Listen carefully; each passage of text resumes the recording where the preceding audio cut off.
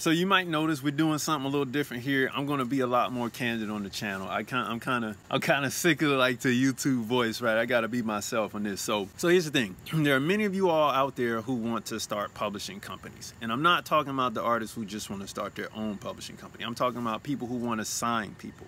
You're gonna face a couple obstacles. I'm gonna give you three of mine that I had to face when I started mine, right? And I'm still going through my phases, right? I got some some clients sign according to that last video you saw on my channel.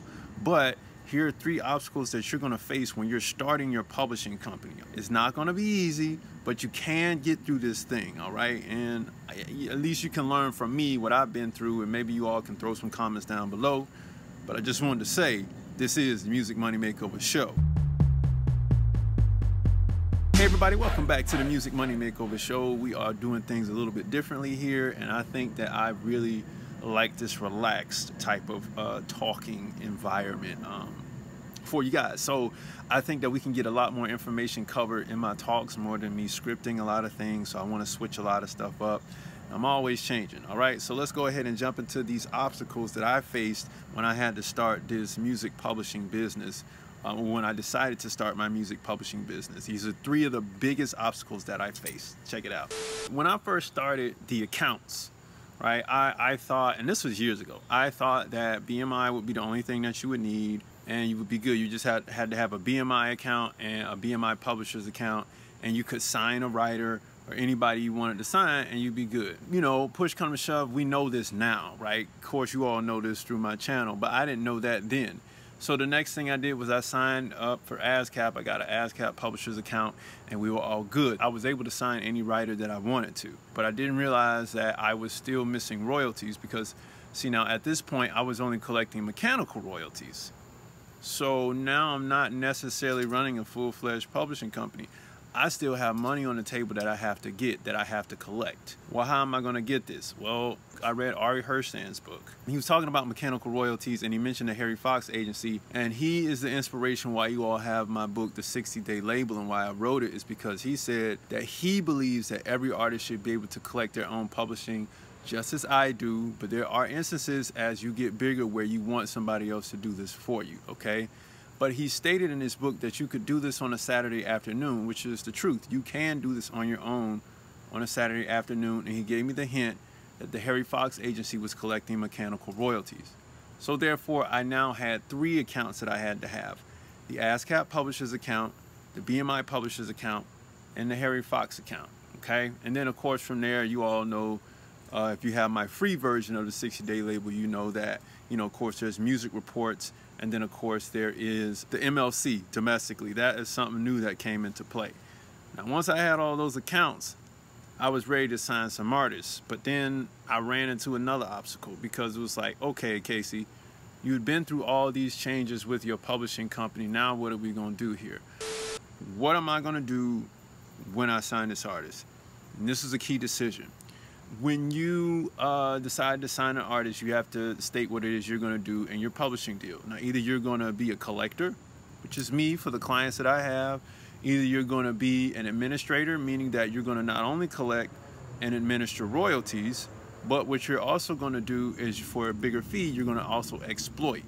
All right, and then you have the co-publishing, and the co-publisher can be two different things. They can be your administrator, or they could choose not to be. Okay, now me, I chose the position of collecting and dispersing funds and I take a percentage off of the top. Just like my very, me, I'm a Songtrust. That's what I am, okay? I'm not nearly as big as Songtrust, but that's what I decided to do for the percentage I was gonna take. And I took that position because I realized that if I put myself on the hook for having to exploit the artist's works, then I it will put more work on my shoulders. And, and I got more videos coming on, you know, starting your own publishing company to sign people. But, but that was one of the things. I didn't want to put so much work on my shoulders that I couldn't actually run the company before I could hire employees. Okay? So now, therefore, I figured out what I wanted to do. Then the next step was going to be, well, how you going to pay them? I guess it's just going to come to my my account and I'm going to pay them out from my account, right? It makes sense. Like they would send me the royalties and I would be good. I just, you know, take my cut and they get theirs. What? Bro, what are you talking about, man?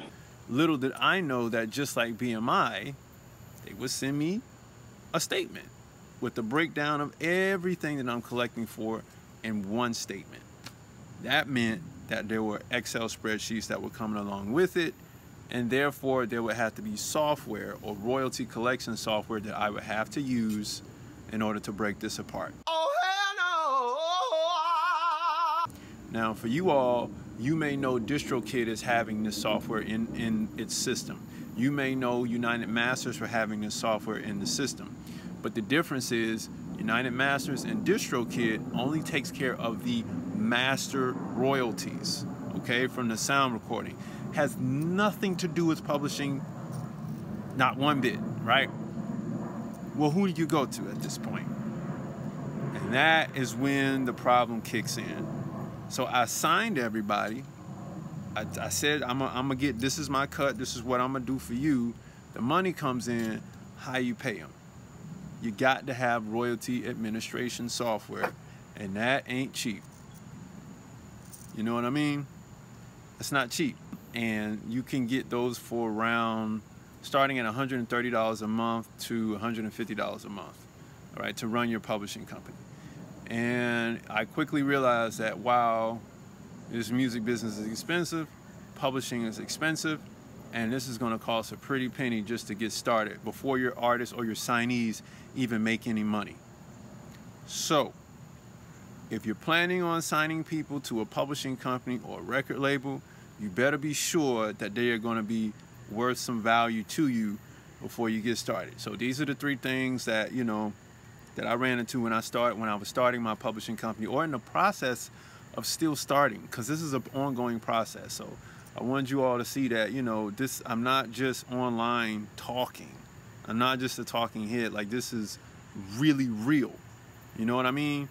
But I just wanted to say that. Anyway, if you're looking to start a record label, but especially a publishing company, you got to take all this stuff into account. There's way more things that I've been through starting this company than just those three things. But I wanted to give you those three tips. All right, y'all. If you make music, you should make money. Follow for more music business tips. I'll see you next time. Peace.